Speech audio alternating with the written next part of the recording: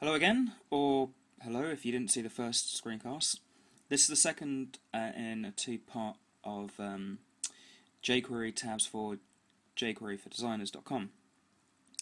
In this example, we are going to be looking at non-conventional or non-conventional tab markup and how to make tabbing work. Uh, what I call conventional markup is um, a URL containing your list of links and after that would come each tab container and the whole thing wrapped in a single div. In uh, this case, I've been asked to look at uh, this this mockup, which has uh, it's a non-live website, so if you try and go there, it won't won't work for the minute. Um, it has a UL in a completely separate div to the actual tab containers, and in addition, one of the tabs one of the the li elements doesn't actually act as a tab. It's uh, it goes off to a brand new page.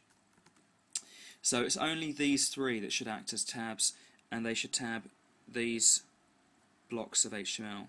So send a message is this block, arrange a game is this block, and send a file is this block down here.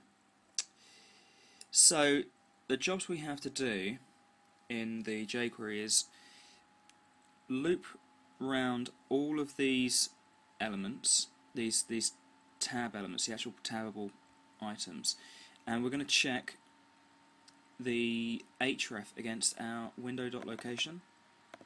If they match and they have a hash, as you can see at the bottom of the, page, the, the status bar, then we're going to class that as a tab and we collect those. In this case, for the settings link, it doesn't have it, the URL doesn't match at all, so we're going to ignore it. Um, we're then going to add our click events to those collected tabs, hide all these tabs down here, and filter to show the uh, the one that we just clicked on. And we'll also set up the, the class to kind of make it look like it's selected. Okay? So, I'll just show you the, the li markup. we we have to add some kind of hook so that we can so our jQuery knows where to start. So I've just added class equals tabs. Um, so you can see we've got three links and the fourth one goes off to someone completely different. And this is what we're going to be using. These match directly onto IDs of our tabs. Our tabs, the only prerequisite we've got is our tabs do have to be wrapped in one single container. Um, do they have to? I'm not sure. Actually, we'll see. I'm not sure, 100% sure if they do have to, but it usually helps. Anyway, let's get on with it. So I'm adding jQuery to the page, and this is our onReady function. This is shorthand for. Oh, sorry. It's shorthand for this. So they're exactly the same. I'm just lazy, so I prefer to use the shorter one. So, job number one. Let's loop around all the uh, the anchors in the tab set. So I'm going to use ul.tabs. Uh,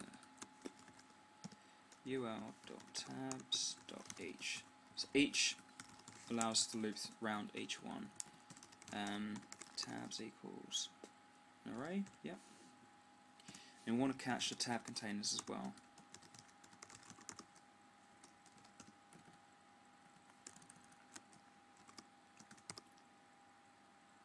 Yeah, so we're going to loop around each anchor.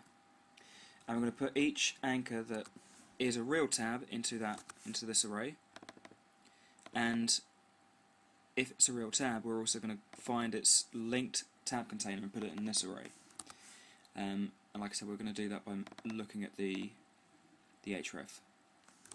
right,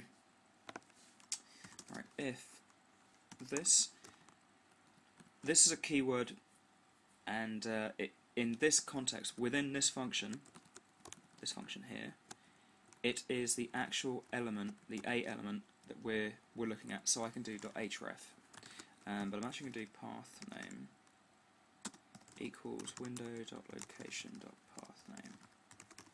Now I double check that that's actually a real variable.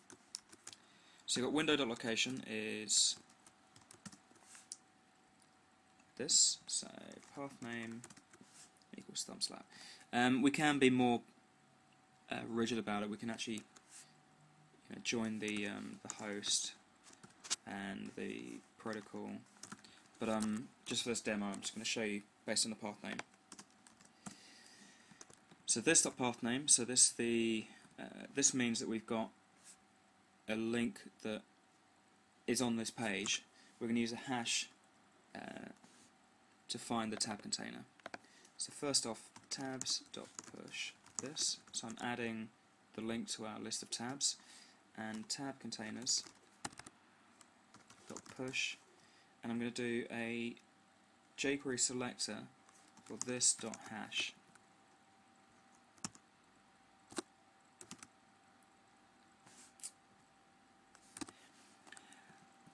I'm going to just dump this out into the console and make sure that we've got what we want. So I'm expecting this to be three tabs uh, with the appropriate IDs.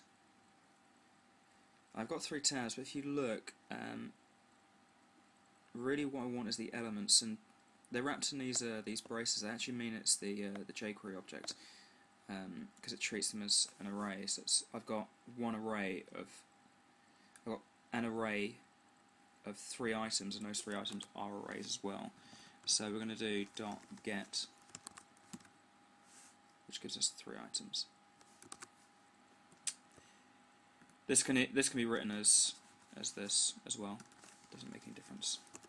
So what we've got in the tab containers is a list of elements and not jQuery objects. And the same as tabs, we've got a list of elements and not jQuery objects. So I'm now going to hook my tab events, and because all my links are in tabs, I can just do tabs.click.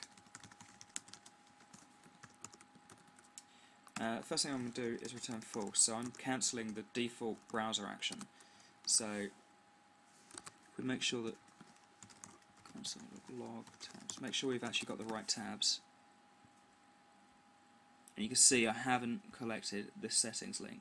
So when I do this dot click, I'm not going to attach a click event to this this settings link.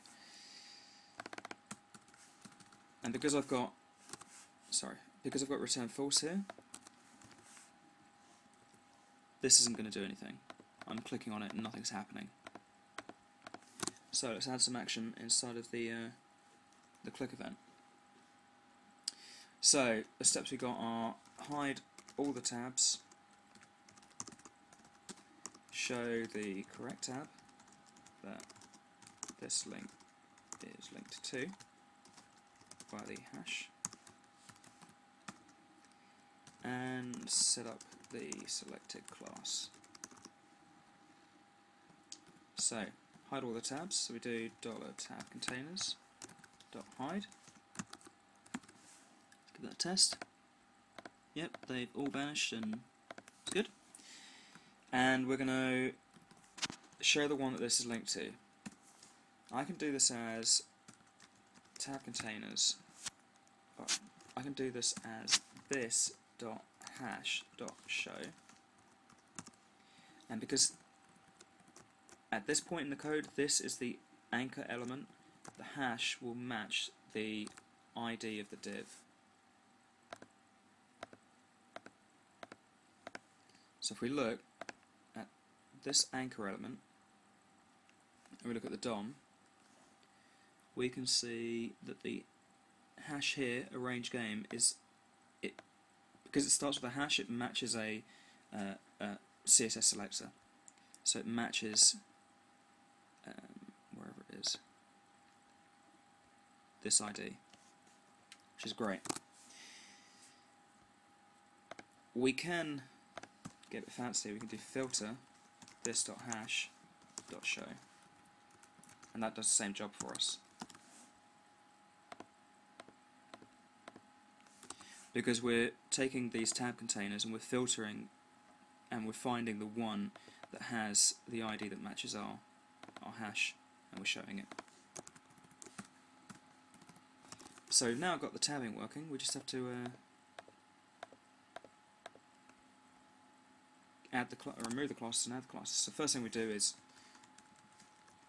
tabs dot remove class selected, and since we're looking at all of them again, hmm, I don't know, could we do that? No, no I'm not going to do it like this. Um, we're going to remove the class and then we're going to do this dot add class selected.